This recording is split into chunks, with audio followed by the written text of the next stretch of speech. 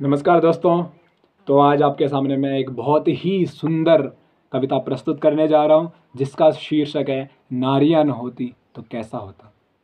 नारियाँ न होती तो कैसा होता।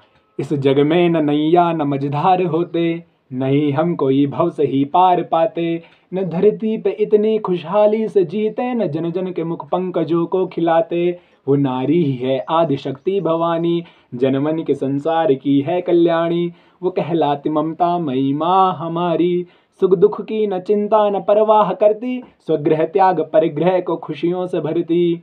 नमन तुमको माता है अम्बा है दुर्गे तेरा पूत बनभू जगत देख पाया, तेरी ही कृपा से मिली है ये माया। तू ही जन्मदाता, तू ही है विधाता, ये पंकज खिला जब से तुझको ही ध्याता।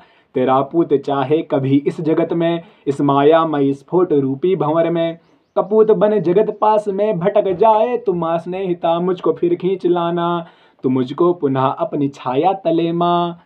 मुझे तेरे आंचल में सर्रक सुलाना, चाहूँ करूँ शुक्रिया तेरा अम्बे न सक्षम जरा मैं अभी इस कदर माँ, तेरा ऋण न उतरे कभी हमसे माता। तू ही हमको बचपन में चलना सिखाती, रूठ जाने पे हमको म तुम ही मनाती।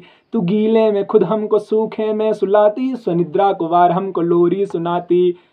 तू बहन रूप में हमको हंसना सिखाती, हमारी खुशी में चांदनी मुस्कुराती, तू अर्धांगनी बन सुख दुख में समाती। करूँ कैसे शुक्र तेरा अदा तेरा अम्बे करूँ कैसे शुक्र तेरा मैं अदा अम्बे न भूलूं कभी तुझको बस मुझको वर दे ये पंकज मनोभावों को है जगाता। शरण में बसा लो न कुशमन को भाता। तेरी ही कृपा है, है अम्बे है दुर्गे। तेरी ही कृपा है, हे माता है अम्बे। न था कुछ न कुछ बिन तेरे लिख ही पाता। न था कुछ न कुछ बिन तेरे लिख ही पाता। जय माँ जय भवानी। जय हो।